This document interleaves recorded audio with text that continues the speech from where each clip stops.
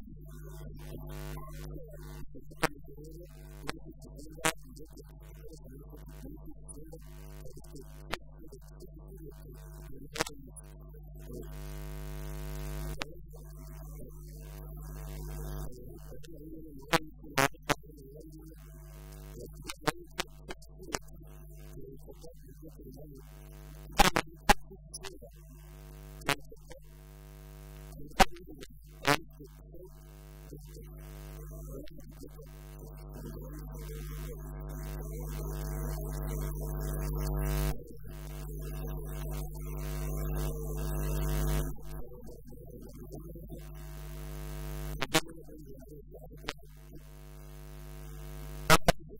Thank you.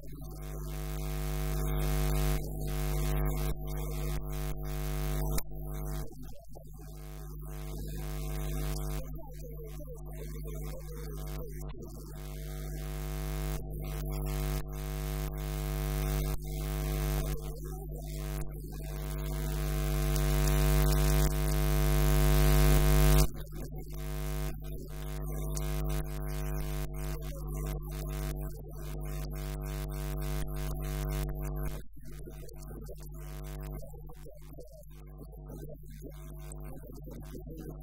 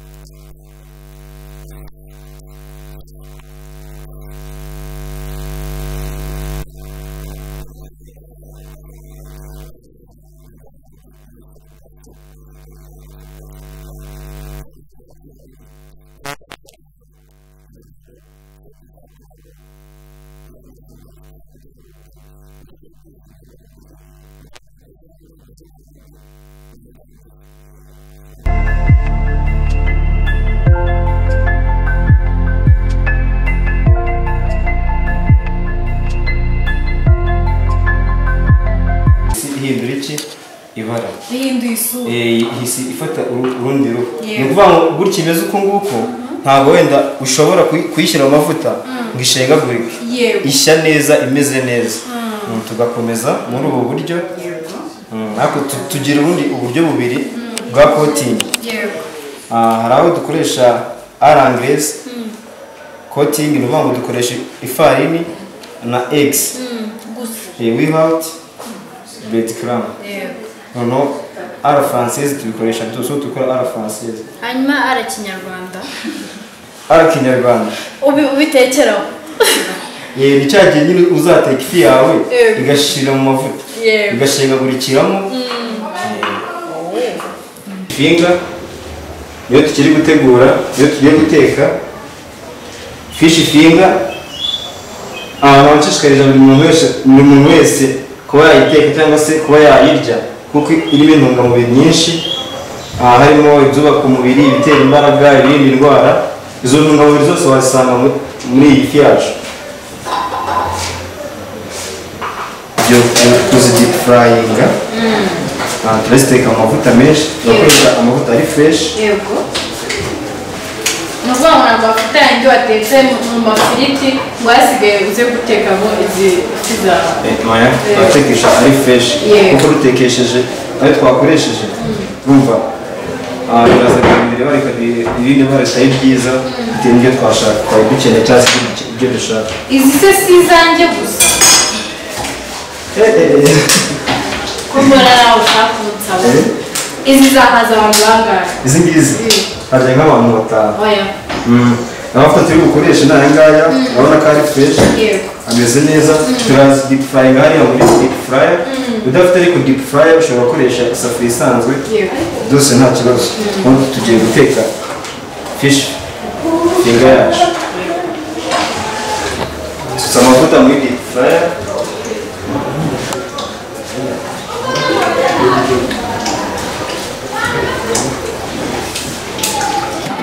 Ndibuka mu myaka ibiri ishize mu rugo nyine bambwiraga gutegura ifi bikananira.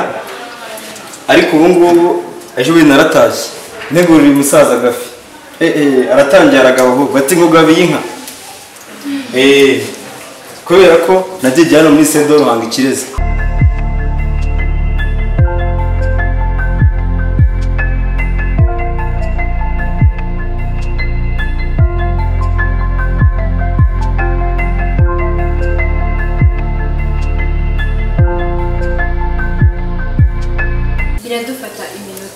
ni iminota icumi gusa ziraba zihiye.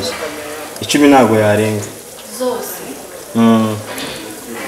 Isosi gusa ingana na fishi finga yacu Mashyira isosi iyi sosi y'ibirungo cyangwa se dore makundi baba bafitemo ariko na byo biba birimo n'izo atari isosi eee na byo biba birimo mpamvu bifite byatunganyijwe ariko utabifite wakoresha fureshi yewe mbese aha ngaha urabona ko handitseho hano handitseho mashu yewe aha ngaha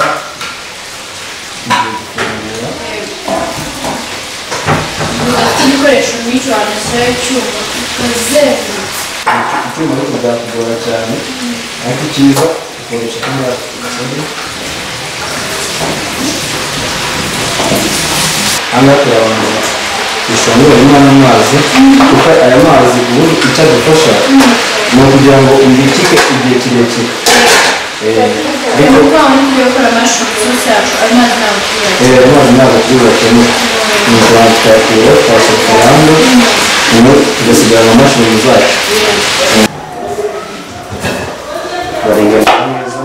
ibintu turabitunganya ntabwo ujya wikata ntabwo kereka kera nyine ndaza kwiga ibi ngibi ni bwo nikataga waje kuba pro ntabwo wakwiga muri sedo ruhango ngo wave utari porofeshono yes ni ukuvuga ngo nawe kuri iki kiganiro menya guteka niba ushaka kwiga gu- guteka ibintu byinshi bigiye bitandukanye ni karibu amarembo arafunguye nizere ko amarembo adafunze amarembo arafunguye muri sedo dayirekata itunga é cyane isore bishyira é mu kavo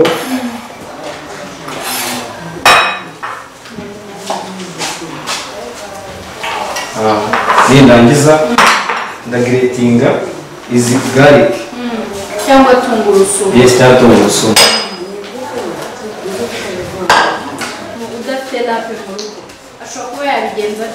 ate nta muntu udafite rape yabicopinga akoresheje icyuma cyangwa agasekuru eh, cyangwa se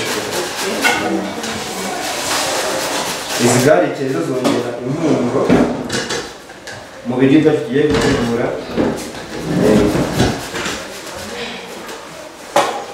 ndetse no mu yego urabona ko za fish finga zacu zamaze gutungana ntari nabonye izi ni za fishinga Eh. twateguye zirahiye atangira kurya oya ntabwo byemewe kubera ko tuzisavinga na mushroom sauce isi urategereza nyine turatesitingira rimwe ariko mu buryo bwiza turazifunika kugira ngo tuzirinde wenda microbe cyangwa se utundi dukoko dushobora kujyaho tukazanduza turaje batesitinga mu kanya utandukanya umuntu utakoze ntego babwira ngo ugakora izindi. None bikaza kumva ngo ngo numveho nta kibazo ugatesitinga muri rimwe nta kibazo reka mbe nihangane. Aha tungurusumu zacu. Izi tungurusumu ugiye gukoresha zingana iki? Izi tungurusumu sorobo izo ngiye gukoresha ariko ntabwo ndi buzikoreshe zose. Gukoreshaho zikeya. Kuko muri tungurusumu urabizi ko ifasha wenda abantu benshi mu buryo bujyanye n'igogora. Iyi tungurusumu irabafasha cyane. Ibintu bikagenda neza. Ni ukuvuga ngo wariye ibiryo birimo tungurusumu bya bintu byo gutuma Eh, ntabwo watumbira rwose. Utumbiki amaboko arabyibuha. Eh, amavuta abyibuha amatama akaza Eh, yumva ina- ari fureshi byacu ni igitunguru na tungurusumu Eh. hatahiwe iki? igikurikiwe ni uku- ni ukubiteka ni ukuvuga ngo turakoresha bata cyangwa se bureba Mm. abenshi bayazi nka marigarine rero nzi ko tugiye kurya umugati. Oya. usize aya mavuta iyo tuyatekesheje mu biryo birahumura cyane bi- bikagira um, n'isura nziza cyangwa se eh, bikagira isura nziza. Ku buryo ubibona ubibonye wese ibyo biryo byatekeshejwe n'aya mavuta biramwataragita biramukurura yego. Yes apeti igahita yiyongera. Izi mushroom sauce zacu turakoreshamo fresh cream. Yego. iyi fresh cream iza iri gusimbura amata. Wenda dushobora kuba tudafite fresh cream tugakoresha amata. Eh, ni ukuvuga ngo nta kintu na kimwe kiri buze gutuma isa umutuku iza isa umweru. Iza isa umweru umweru. Yego. Turabanza tudahitinga amata ahangaha nk'uko tubizi turabanzamo ibikomeye yego n'ahangaha ibikomeye dufite ni izi nizo turi bubanze gushyiramo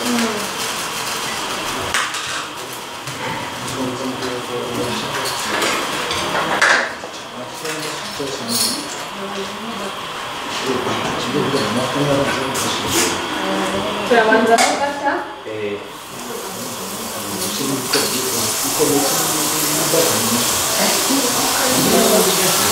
Ibiyiko bibiri birahagije. birahagije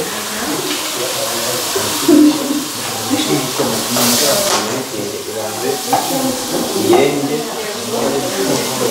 ariko turakoresha kugira ngo twirinde ubushirizi Eh,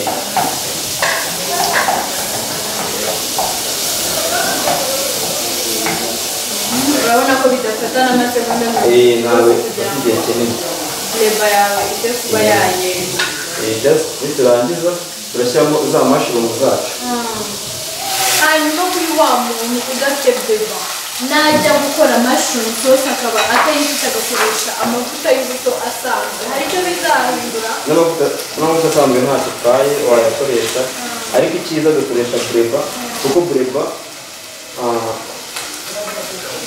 ifite byinshi turinda ntabwo wenda ishobora kuba yadutera umubyibuho ukabije nk'amavuta asanzwe. Eh, bureba ni icyo dufasha kandi ikadufasha no gutuma ibiryo byacu bigira indi mpumuro itandukanye niyo ushobora gutekesha indi myereko ebyiri Mhm, hanyuma izi mushroom ziraza kumara igihe kingana iki? Mu mavuta kugira ngo tubone gushyiramo ibindi ntabwo zirenza iminota itatu eh, iminota itatu rwose ziraba batadushyiramo izi onion tutajya dushyiramo garlic tuze gushyiramo fresh cream nta munyu uri bujyemo ese umunyu turawushyiramo dusizoninga nashishikariza n'abantu bose kuza birira ibihumyo kuko biboneka ahantu henshi mu byaro bahinga cyangwa se mu barazi- barabihinga kandi nta nubwo binahenda cyane wigeze ukibona kirimo kiravanga eh narakibonye nk'iyo wakibonaga uyu munsi ntiwabyukiragayo n'ejo ngo urebe ko cyakuze cyane buri munsi buri munsi buri gitondo na saa sita nimugoroba najyagayo kiba byo kimeze wanataze voka ari ukujya kureba voka niba yahiye no kureba ituntu niba cyazamutse ni icyo yashishikariraga cyane kureba igihugu kuko byarantangazaga uburyo gikura byanteraga n'amatsiko cyane ariko narabisobanukiwe ariko avoka na yo iraryoha ndayikunda bikomeye ukuntu twaza kuyishyira ku ruhande zo tugiye ibiryo tugiye gukoreza ariko turashaka uburyo kugira tubyiza rwose tuze gufatisha hanyuma mu kiganiro menya guteka umuntu twatekanye uyu munsi twagize imana dutekana n'umunyeshuri hari inama agira abakurikiye ikiganiro yaba iyo mu gikoni yaba iyo mu buzima busanzwe eh, umunsi we baratugiriye inama. Nagira abantu badukurikiye cyangwa se abari kumva kino kiganiro. Ah, nabashishikariza gutegura ibiryo bikungahaye ku ntungamubiri kuko akenshi na kenshi iyo uteguye nk'ibihumyo wenda bifasha abana mu bijyanye n'imikurire ndetse n'abantu bakuru. Ah, suppose ushobora kuba wenda urwaye amaso ariko uramutse uriye ibihumyo ureba neza cyane.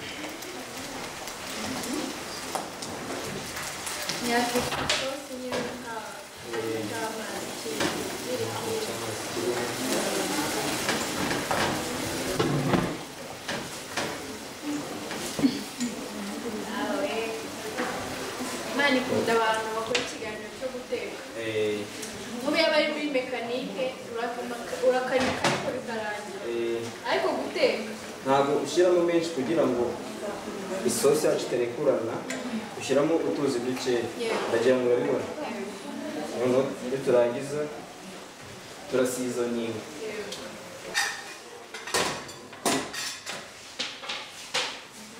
turahera ku kiwumunyu cyangwa turahera ku munyu. Ugashyiramo gake cyane. Ntabwo ushyiramo nyinshi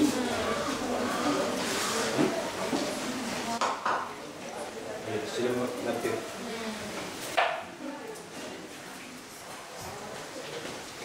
Gakeya cyangwa akariro bwinshi? Gakeya karinganiye kugira ngo tudashiriza kandi urabona ko ugabanyije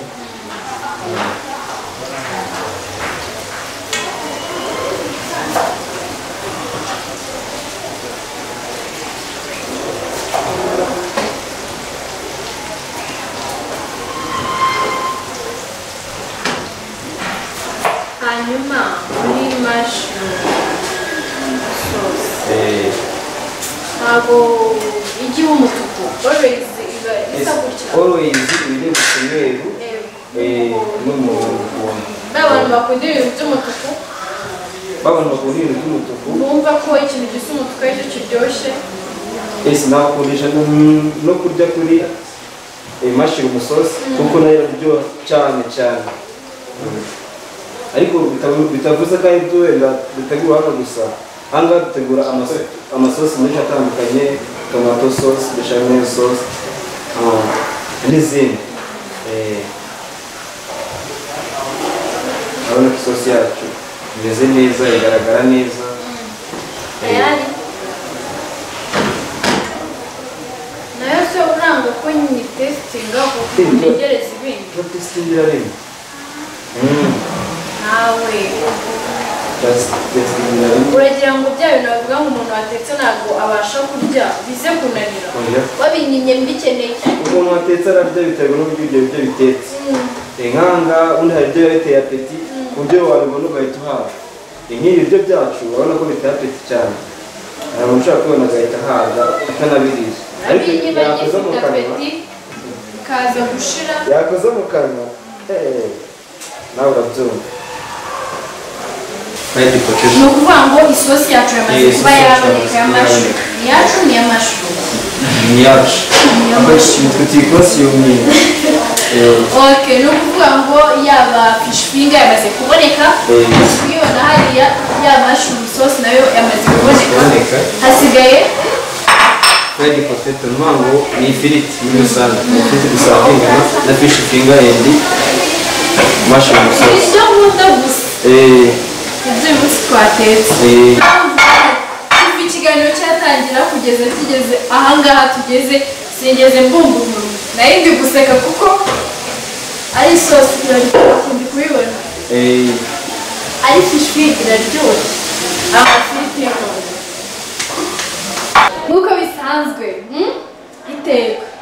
Iyo tumaze guteka ndatesitinga nkumva niba bya biryo kuko twafashe iminota igera kuri mirongo itatu duteka niba byaje gushya bikaryoha. Ndahera kuri fish finger nafashe nawe kuki utari wabimbwira okay eh, nyuma yo kwiga ibintu byinshi bitandukanye mu kiganiro menya guteka ubu nsigaye ndisha imoso kandi mbere ntiwarishaga indyo. Mumbwire bon appetit.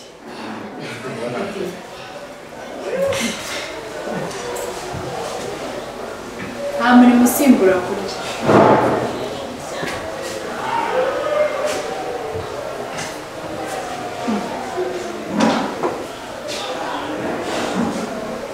ugize ubwoba ugize ubwoba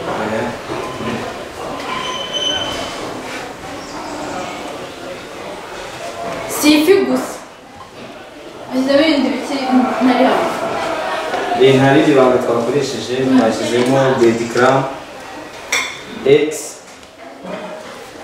and fra kugira ngo ifi yacu ize kuba ifite shepu nziza kandi ize kuba inaryoshye ese ni bwo buryohe iri kumva nta kindi kintu kirimo nta kindi kintu kirimo umuntu wese mu rwego yabyitekera ese umuntu wese mu rugo yabyitekera ntabwo bihenze birahendutse wese yabyi- yabyitekera n'isosi n'iyanjye Mm.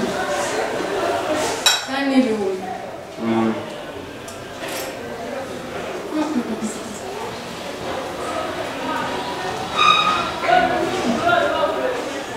sinzi niba abantu bari kundeba yaba ari hano yaba dukurikiye kuri televiziyo mbega kubona uburyo naryohewe muri kubibona